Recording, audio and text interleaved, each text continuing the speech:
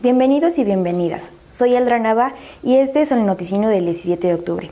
Estamos transmitiendo desde el Centro de Información de Naciones Unidas para México, Cuba y República Dominicana. Esta es la información más relevante hasta el momento. Este lunes 16 de octubre de 2017, México fue electo por la Asamblea General como uno de los 15 nuevos miembros para el periodo 2018-2020 del Consejo de Derechos Humanos, un organismo con sede en Ginebra con el objetivo de promover las garantías individuales. México fue electo junto con otros países que desatan controversia en temas relacionados con derechos humanos, como República Democrática del Congo, Nigeria, Qatar y Pakistán.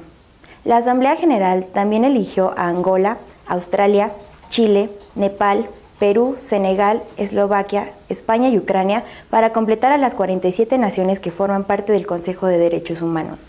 México fue electo con 179 votos, Perú con 180 y Chile con 175.